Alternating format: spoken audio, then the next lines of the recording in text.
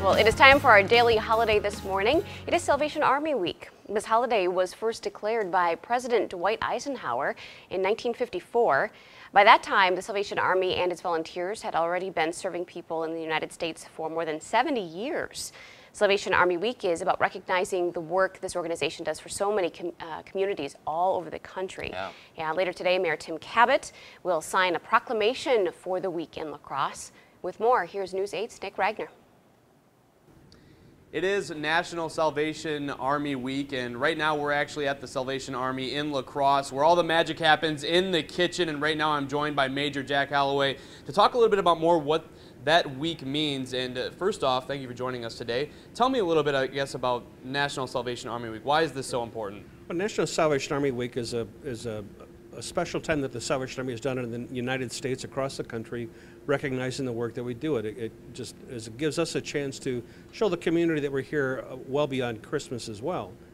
Now that's, I guess, looking at the, the big scope of things, but obviously Tim Kabat can to sign that proclamation recognizing the week here in La Crosse. What does that mean uh, for the organization here in, the, in this community in particular?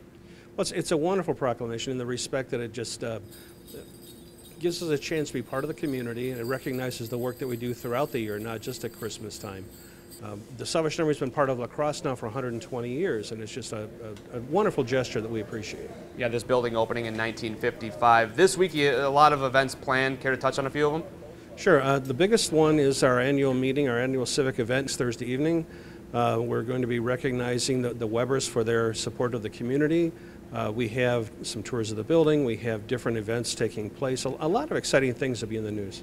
Uh, and last but not least, uh, you also have uh, the, the big event, Feed the Kids, coming up this summer. Care to talk about that a little bit? The, the event comes up, it's throughout the summer. We provide food for the children in the community that, that may not have a, a meal otherwise. We take our, our, we have a number of volunteers who support us with that. We go into the community at lunch different uh, designated sites and make sure that the kids get a meal. Fantastic. Well, one person that's been working quite a bit here in this kitchen, actually, I'll be able to talk to in just a little bit, so stick around for that. But for now, we'll send it back to you. All right, thank you so much, Nick. For the full list of events being held in La Crosse for National Salvation Army Week, head to bells2ring.org. That's also where you can learn how to become a volunteer. Here are some quick facts about what the Salvation Army provides to people in need, ways that you can volunteer, of course.